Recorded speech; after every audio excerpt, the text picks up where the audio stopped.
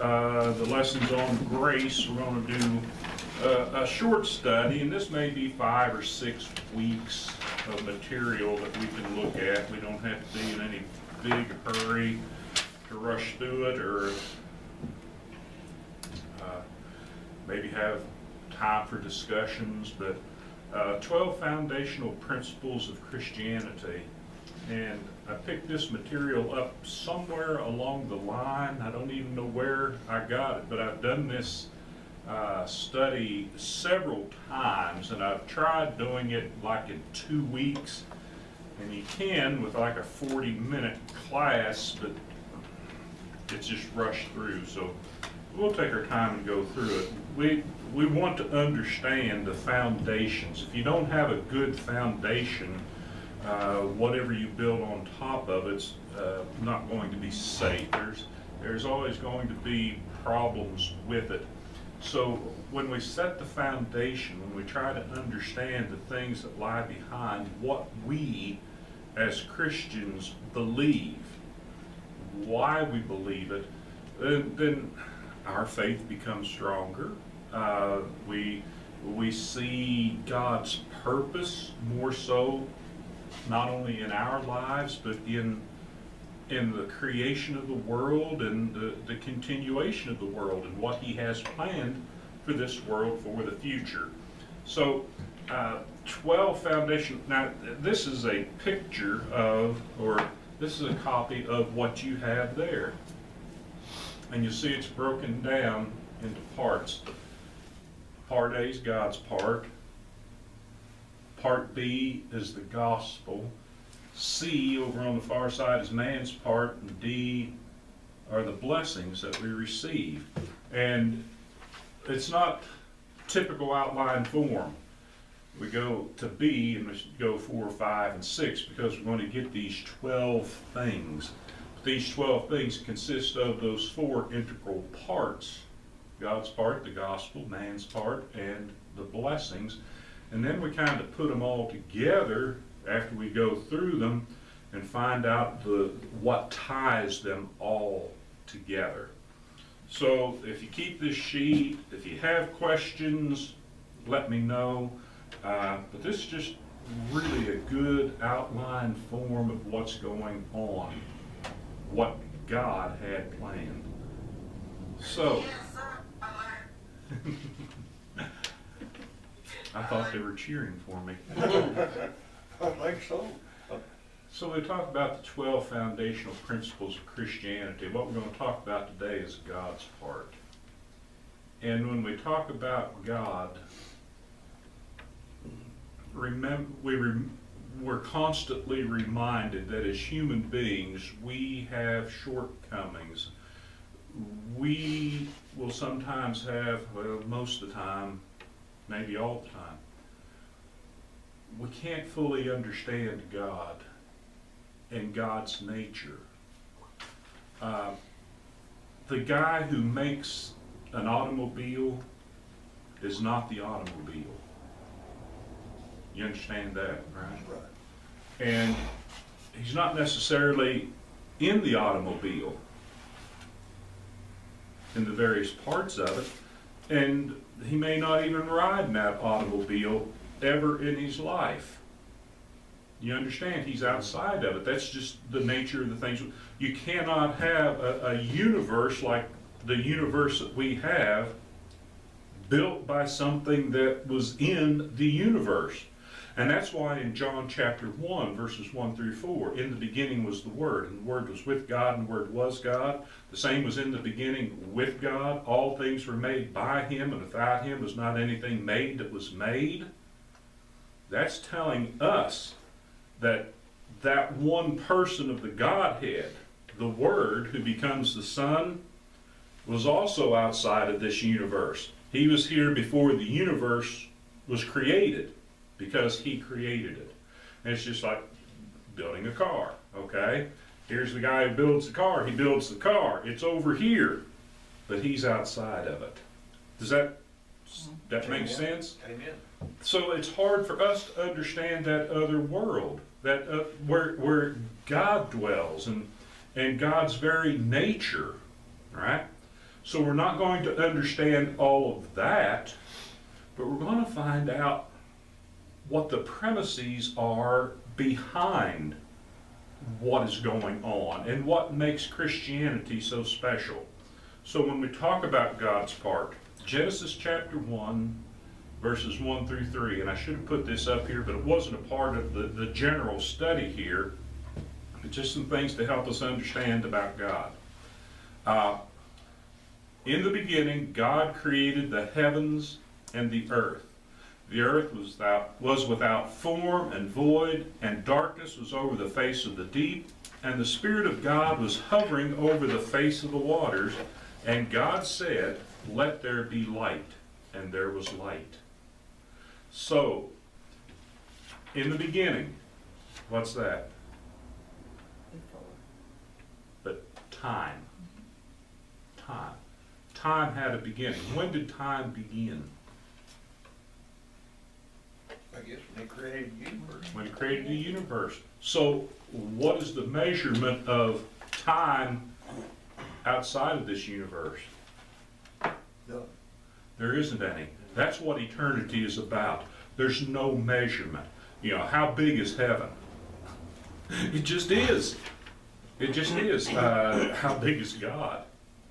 No, he just is. He just is. You know, there's there's there are no limits, so to speak. There's no way of measuring these things, though. In essence, differences have to be accounted for. There are differences there because you got okay in the beginning God. And I think I've told you before, the word God there from the Hebrew is Elohim. It's a plural but it's a plural that can be used as a singular. All right? West Texas Comanches. Is that singular or plural? Comanche is one. Okay? But West Texas Comanches, the team, is that singular or plural? Team would be plural. But it's singular. It's singular because it's one team. It's Depends one It's team, one team, context. but it's Yeah. made up of multiple. multiple members. And that's the way we understand. See, if I were doing the translating of the Bible, instead of saying in the beginning God created the heavens and the earth, I'd say in the beginning the Godhead created the heavens and the earth. And that would distinguish between one individual or three individuals in a team doing this. All right? Got the concept? Right, right. Got the concept. Uh, that's how, and in chapter one, God is typically Elohim. When you come to chapter two, you notice it changes to the Lord. And that's when you come into what's called the Tetragrammaton, YHWH, because they didn't have vowels when they wrote in Hebrew. And it's been translated for many years as Jehovah. Modernly, people talk about Yahweh. See, you see the YHWH there. And that's translated the Lord, and in most of the standard translations, it'll be all capital letters. L O R D, all capital letters to distinguish. It's not Lord as used with, say, uh, a, slave talking to his master, or even someone like Abraham talking to a Pharaoh or someone of that nature and calling him Lord or Master or the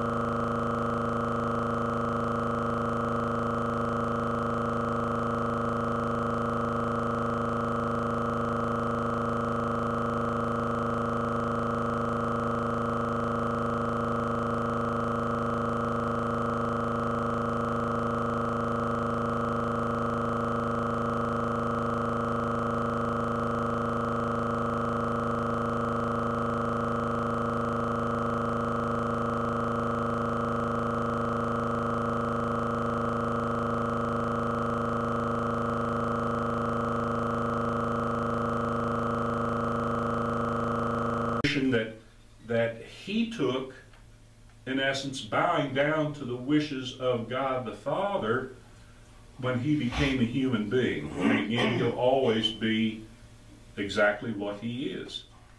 Always.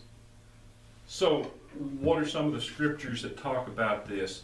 Uh, Hebrews 5 9, and you go back to verse 8 also. Even though he were a son, yet learned he obedience by the things he suffered. And having been made perfect, he became the source of eternal salvation to all who obey him. Now we're talking about salvation, right? This is as the Father and the Word and the Holy Spirit, as we'll get to the Holy Spirit in a moment, created this universe. There was a plan that the Father had that the Word speaks into existence. And when He says, Let there be light, there's light. What's He doing? He's carrying out the Father's plan, what the Father has devised. All right? The Holy Spirit's doing His activity there also. But notice, He is the source of eternal salvation to all obey Him. Anybody have a different translation? What, in this verse two of Hebrews twelve, or? No, of Hebrews 5 9.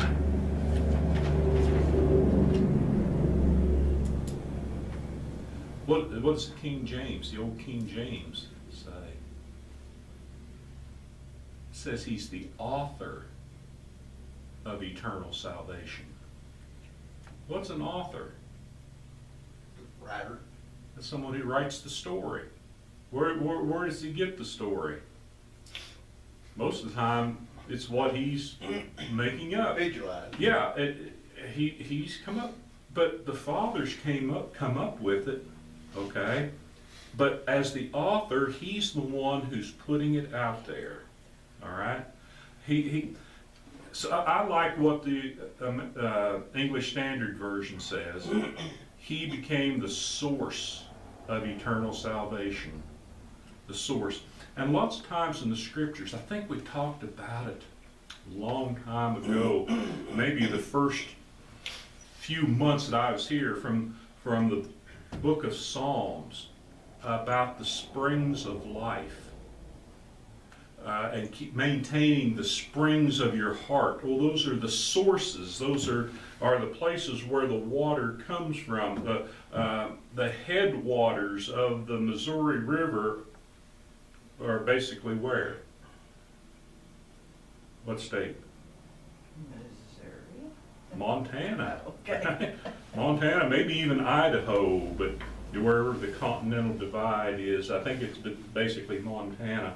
It comes through all those states, but it's Missouri River because it ends up down here, but its source is just way, way up there. So here is the source of eternal salvation. It is the Son. Hebrews 12 2. Looking to Jesus, the founder and perfecter of our faith. Now, he didn't design it, the Father designed it, but he founded it. How did he found it?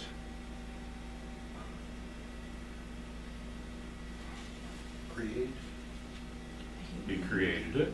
What was the particular event that founded Christianity?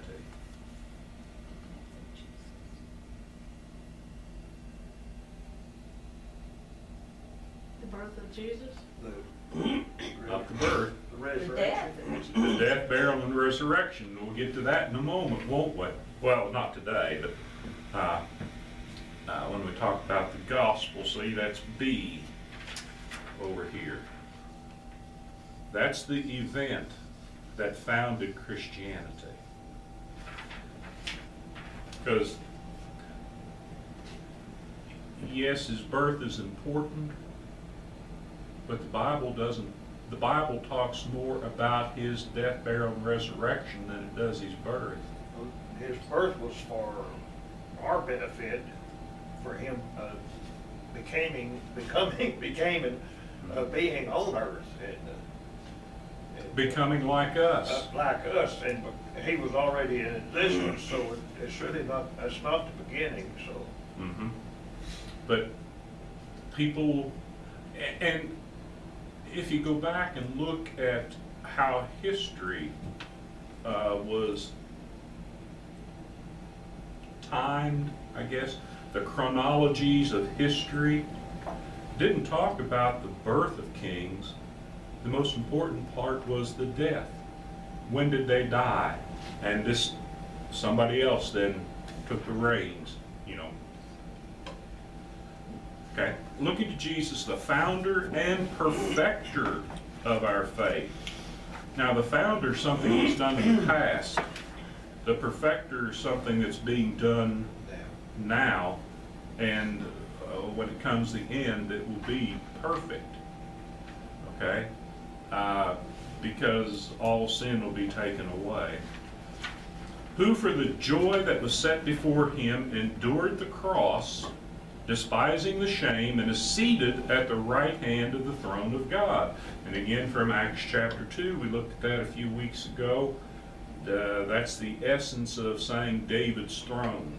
That's he has the right to rule over spiritual Israel because he sits on the right hand of the throne of God. And uh, in John chapter 4 and verse 34, Jesus said to them, My food is to do the will of him who sent me and to accomplish his work. So, who's he talking about there? The Father. The Father. So that's why we can say that the Father devised it. The Father, see, sent him, and it's the Father's work that he is carrying out. Even though he might have had a hand in the planning aspect of it, yet he gives the credit to the Father. Does that understand? Understand that? Okay. And finally, the Holy Spirit. I'm going to talk about God's part. Is the Holy Spirit a He or an it or something we don't even know? It's non-gender, isn't it? Non-gender, how does the Bible speak of? Well, Speak of the. Holy Spirit. As a He or an it? He, He. He, a person. All right? Just as the Father is a person, the Son, Word Son is a person, the Holy Spirit is a person. He's not a force, even though he is forceful. He, uh, but he is God. And there's a passage in what? John chapter 5, or I'm sorry, Acts chapter 5, when Ananias and Sapphira lied about selling a piece of property. Yeah, we gave all the money. And uh, Peter says, What has prompted you or caused you to lie to the Holy Spirit? You've lied to God. So the Holy Spirit is part of the Godhead. And his role is the revelator. He reveals. Now, did Jesus reveal things? Sure, he did. But the continuing revelation, and particularly in the writing of the scriptures, that effort is like the Holy Spirit, see, in brooding over or hovering over, molding, shaping, forming the earth, the universe as God designed it to be. And this is his job, even spiritually. He's molding, shaping, forming us through what he has revealed. And I believe through providential means to bring us to the completed product that God can say, yes. Just like Abraham, all right? Abraham believed God and it was counted to him for righteousness, but it was a long time before he had Isaac, and then it was uh, 15, 20 years before he took Isaac up on Mount Moriah to offer him as a sacrifice. And when he was ready to slay him on the altar, God says, Now I know that you will do what I tell you to do. Right? Was he completely perfect at that time? No, but see, he's moving in that upward swing to being someone who so trusts in God that he's willing to do something that goes against his conscience because God said to do it. Right? So, the Holy Spirit was to guide. Now, I'll ask you a question after I go through this. John 16, 13. When the Spirit of truth comes, he will guide you into all the truth. For he will not speak on his own authority, but whatever he hears, he will speak, and he will declare to you the things that are to come. So, uh, just a couple things here. Uh, he will not speak on his own authority. He's not going to come up with something new. What's he going to tell? The ones he's revealing this to. What's he going to tell them? What he already knows and has been told by God. Okay, but what Jesus has said, and that has come from the Father. Okay, now here's a very important question. When it says he will guide you into all the truth, who is he speaking to? When Jesus said the Holy Spirit will guide you into all truth, who was he speaking to? Christians. Christian. I'm thinking the apostles Okay, at the time. When, what was going on in John chapter 15? From John chapter 13 through John chapter, what, 17? Is he speaking to the non-believers, the ones that he's trying to convert? No.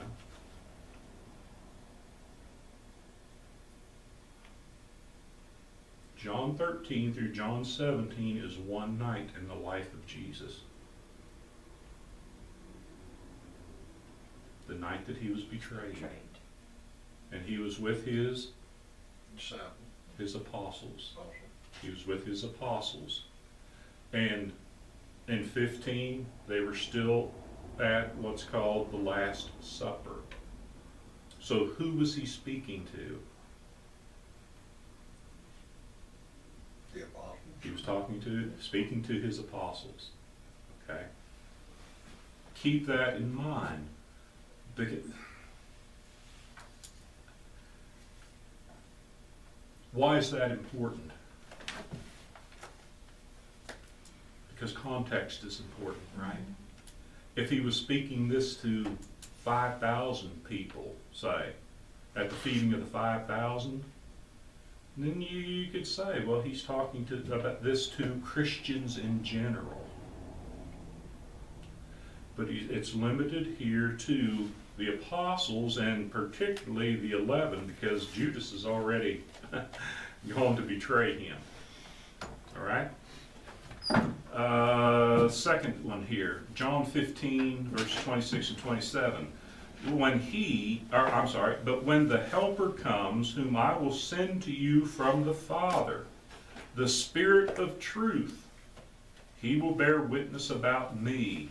And you also will bear witness because you have been with me from the beginning. All right, again, it's talking about the Holy Spirit. He's going to be a comforter. What does a comforter do? Comfort. It comforts. Well, he comforts, yeah. So he's there to comfort them through what? All kinds of persecution, right? Think of what the apostles went through, all right? And uh, he proceeds from the Father. He will bear witness about me, and you also will, will bear witness. I want to ask you something. Can somebody today bear witness about Jesus? About his death, burial, and resurrection? Not Bear witness. physically, no. No, we. No. We can say, this is what the Bible says, but we can't say, I was there and I saw. You know, like Paul in 1 Corinthians 15, he said, uh, he was seeing upwards of 300 people at one time, and they're alive. You can go back and ask them. They saw it. All right? So somebody, if somebody tells you, I'm, I'm, I'm gonna go do some witnessing today, what are they witnessing? What they've heard, what they've read of you. Well, typically about themselves. And they're gonna tell, this is how I came to Jesus. All right? But it's not what the witnessing of the Bible was. Uh, let's see.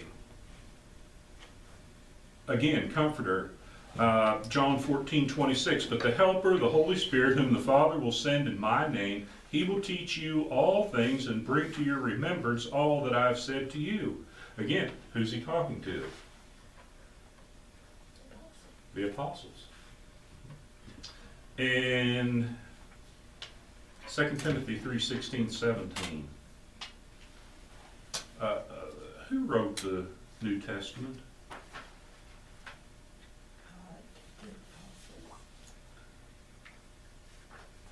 Apostles and prophets, okay? Matthew, Mark, Luke, John, Paul, James, Peter, Jude. Is that eight men? Matthew, Mark, Luke, John, Paul, James, Peter, Jude. If, if Paul wrote Hebrews, okay? Scholars aren't sure about it.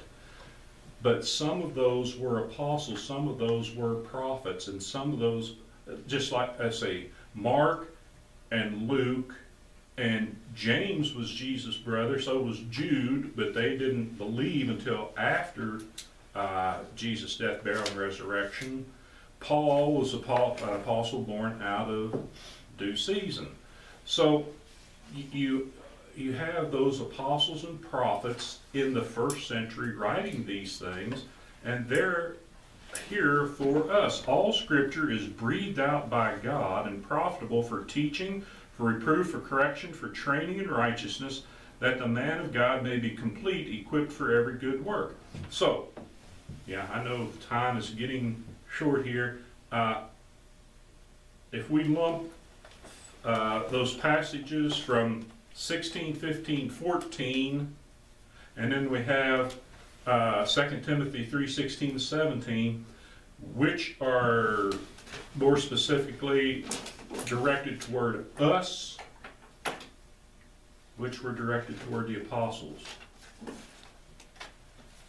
You see the difference?